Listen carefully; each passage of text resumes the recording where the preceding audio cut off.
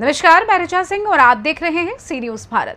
राजधानी लखनऊ में स्थित स्प्रिंग डेल स्कूल ने सांगीतिक रंगमंच की कला का जश्न मनाने के लिए विभिन्न विद्यालयों के प्रतिभाशाली युवा कलाकारों के लिए एक रंगमंच प्रतियोगिता का आयोजन किया।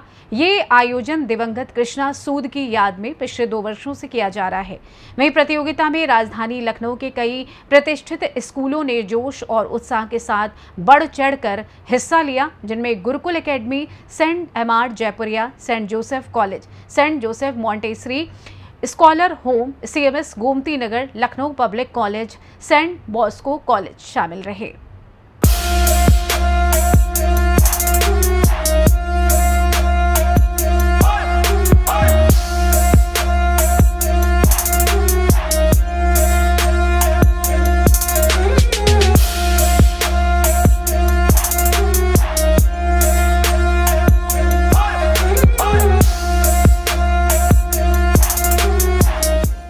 कार्यक्रम का उद्देश्य बस इतना है कि सांगीतिक रंगमंच की कला का जश्न मनाने के लिए विभिन्न विद्यालयों के प्रतिभाशाली युवा कलाकारों को एक साथ लाना और विद्यार्थियों का बहुमुखी विकास करना है और प्रदर्शन कला की एक उत्साही समर्थक दिवंगत कृष्णा सूद की विरासत का सम्मान करना है। वहीं छात्रों को उत्साही दर्शकों के सामने अपनी रचनात्मकता और कौशल दिखाने के लिए एक मंच प्रदान करना है। आपको बता दें कि कार्यक्रम की शुरुआत एक सुंदर प्रार्थना, नृत्य और संस्थान के निदेशक रीता खन्ना के स्वागत भाषण के साथ हुई, जिन्होंने दिवंगत कृष्णा सूद की यादें साझा की। कला और शिक्षा को एकीकृत करने के महत्व पर ज़ोर दिया। इसी के साथ प्रत्येक विद्यालय द्वारा विभिन्न सूत्र एक सजावट विषय को दर्शाते हुए एक अद्भुत एवं सुंदर संगीतमय प्रस्तुति दी गई।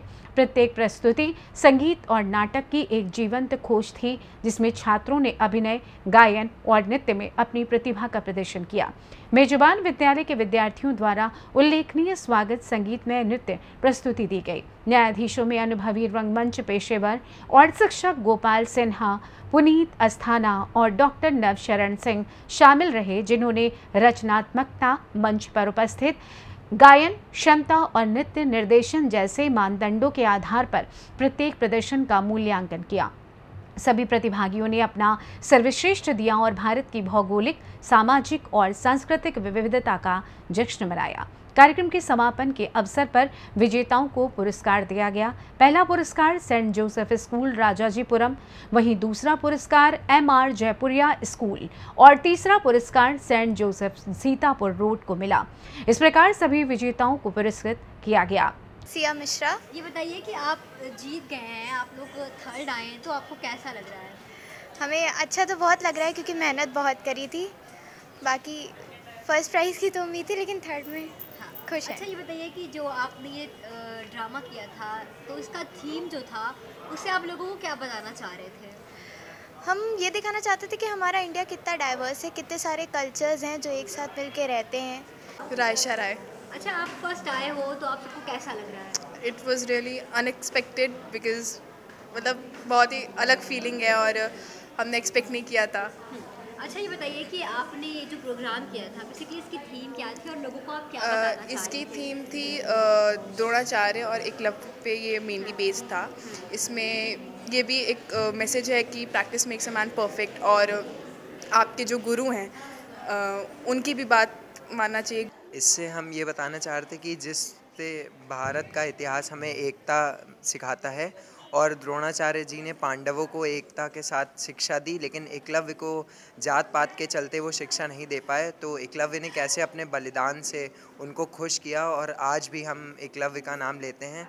तो उनकी महानता को दर्शाते हुए हमने ये डांस किया था और हमें प्राइज़ मिला। मेरा नाम उन्नति भारद्वाज है। मेरा मैं saint Joseph college Sitapur road branch से हूँ।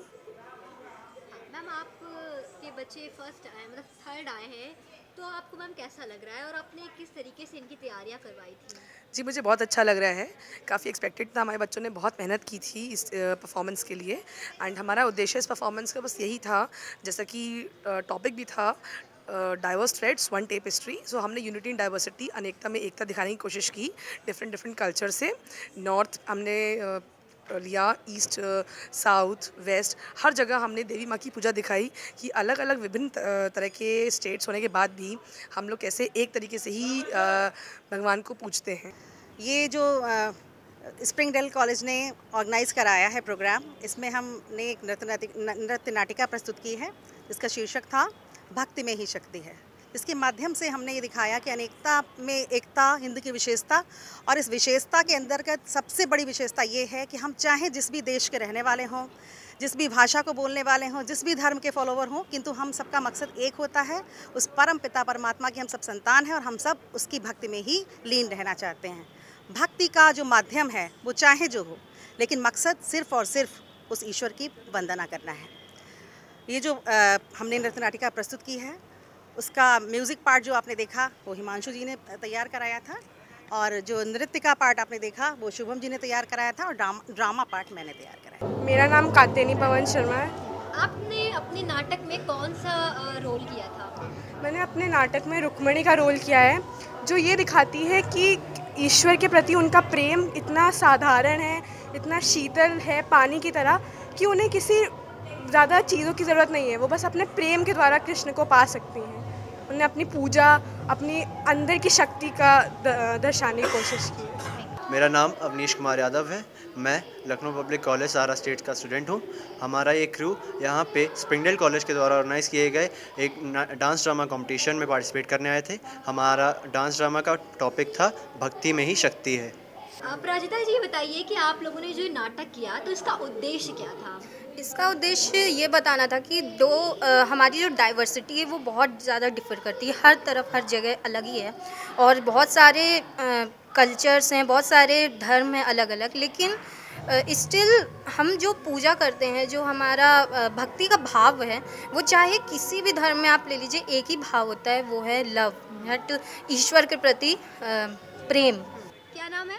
ईशित चौबे। कौन से स्कूल से आप? गुरुकुल एकेडमी। अच्छा ये बताइए कि आपने जो अभी यहाँ पर नाटक किया था तो उससे आप क्या उद्देश्य देना चाहते थे? लोगों को क्या बताना चाहते थे? देखिए हम समाज में रहते हैं हमारे साथ बहुत सारे लोग रहते हैं तो समाज में रहने के लिए इंसान सोशल एनिमल है तो समाज में रहने के लिए उसे एकता बहुत ज़रूरी है और आ, कई तरीके के लोग रहते हैं भारत में बहुत सारे लोग रहते हैं तो अगर हमें समाज में रहना है सबसे मिलजुल कर रहना है तो एकता बहुत ज़रूरी है तो इसी के ऊपर हम लोगों ने ये नाटक किया था।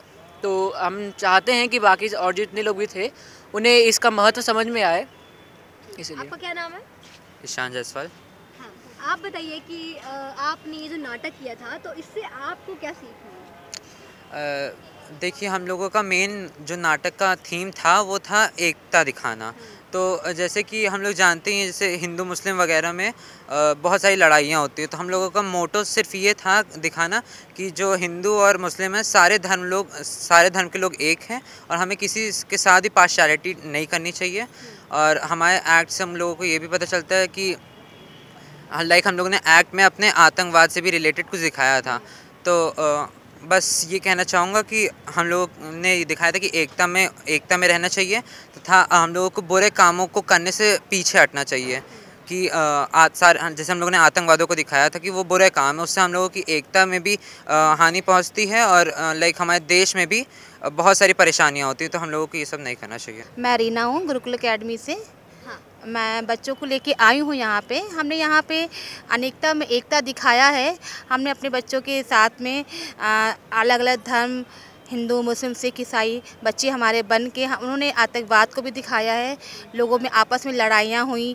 फिर बाद में हमने अपने सरपंच, हमने एक गाँव को भी दिखाया था, जिसमें जो है एक सरपंच जिन्होंने आतंकवाद के बाद जो विभिन्नता दिखाई, लोग आपस में लड़ने, झगड़ने लगे तो हमारे सरपंच द्वारा उनको सिखाया, बताया गया कि हाँ ऐसा कुछ नहीं है। आतंकवाद तो हम लोग बनाते हैं, विभिन्नता हम लोग बनाते हैं, बल्कि ईश्वर धरती पे, जो है, सब एक ही इंसान को भेजता है। लेकिन जो विभिन्नता होती है, वो हमसे होती है।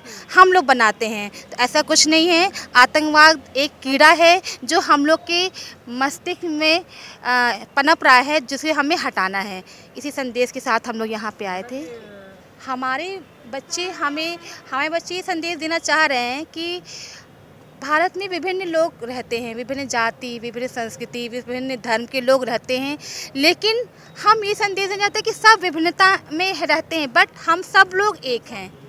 जब हमारे भारत में कभी भी कोई भी परेशानी आती है तो हम सब लोग एक होकर उसका सामना करते हैं। फ़िलहाल इस खास रिपोर्ट में बस इतना ही। देश दुनिया की तमाम खबरों को जानने के लिए आप देखते रहिए सी न्यूज़ भारत। हर खबर आपके साथ, आपके हाथ।